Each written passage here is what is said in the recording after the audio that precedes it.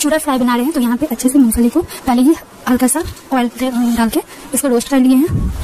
और यहाँ पे सरसों तेल लिए हैं, चाहे तो यहाँ पे कोई दूसरा भी तेल ले सकते हैं, और तेल को एकदम अच्छे से धुआँ का तक गर्म करना है। और तेल डालने से पहले कढ़ाई को जब तक धुआना है तब तक गर्म करना है, और उसके बाद तेल को धुआने पर गर्म करना है। ये दो प्रोसेस होने के बाद ही, देखिए फ्लेम को अभी हम लो पे बिल्कुल लो पे रखेंगे धुआने के बाद, और यहाँ पे इसको मीडियम करेंगे।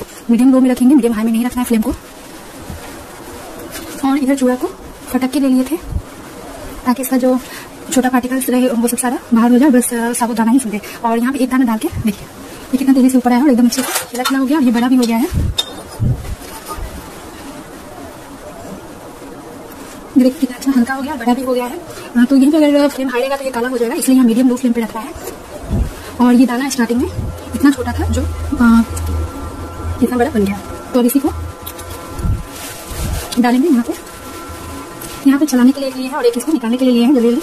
इससे काम हो जाएगा दोनों से तो यहाँ पे देखिए, इसको इस तरह से कर लेंगे ताकि ये अंदर कटने के बाद तो निकल गया है। बाकी जोड़ेगा नीचे रहेगा जाएगा और ये देखिए मीडियम फ्लेम पे रखेंगे। मीडियम लो फ्लेम पे रखेंगे, ज़्यादा लो रखेंगे तो वाले लॉक हो जाएगा चूड़ा में। और ये देखिए, इसमें डालेंगे दो मुठी इसको फटाक से चलाएँगे और अभी तेल है तो एक मुठी और डाल रहे हैं। और इसको लगातार चलाएँगे। उठाने के बाद फ्लेम को हाई हाँ जी, हम ठंडे रख यहाँ पे इसको डीप फ्राई भी कर सकते हैं, या इस तरह से मेरी तरह सेलो फ्राई भी कर सकते हैं। सेलो फ्राई में मेहनत कम लगता है रिज़ल्ट वही आता है। या इसमें ज़्यादा अच्छा है क्योंकि तो इसमें सोना फ्लेवर आता है, और तेल भी इसके तुलना में डिफ्राई में से कम इसमें लगा रहता है। बाकी ही लाइट रहता है चूल्हा जितना कि डीप वाले में रहता है। तो इन सबको लगातार चलाएँगे। और जब इस तरह से रोस्ट करेंगे तो यहाँ फ्लेम को हाई पे रखेंगे, और जब डीप फ्राई करेंगे तो फ्लेम को लो वाले पे। मीडियम हाई पे रखेंगे और यहाँ पे बिल्कुल हाई पे रखेंगे। तो यहाँ पे चूड़ा जो छोटा छोटा रहता है, टूटा हुआ रहता है पॉडर रहता है, वो नहीं लीजिएगा, कढ़ाई गंदा हो जाएगा और टेस्ट खराब हो जाएगा साबुत वाला लेना है चूड़ा को। और ये देखिए बुंदा भूनते ना धीरे धीरे हल्का होते जा रहा है। इसको चलाना नहीं छोड़ना, लगातार चलाते जाएँगे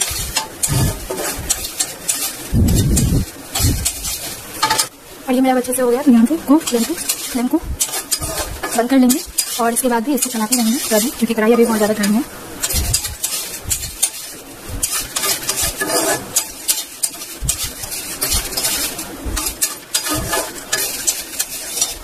और इसको दूसरे बर्तन में पलट लेंगे। तो कढ़ाई से निकालने के बाद यहाँ पे लाल मिर्च पाउडर ले लिया है टेस्ट से।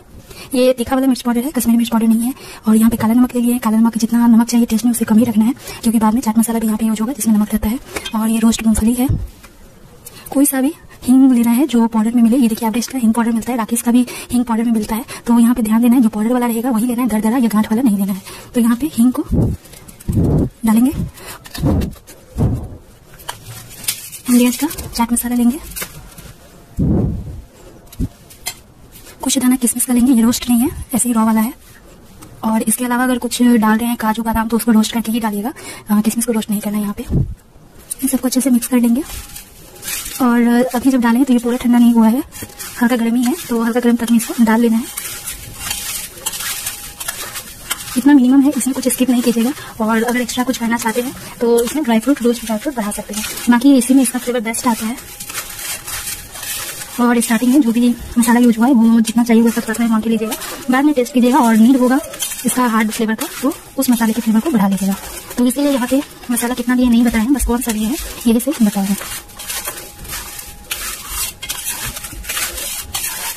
तो ये मेरा खाने के लिए रेडी हो गया है। सैटरडे स्पेशल चूड़ा का भूंजो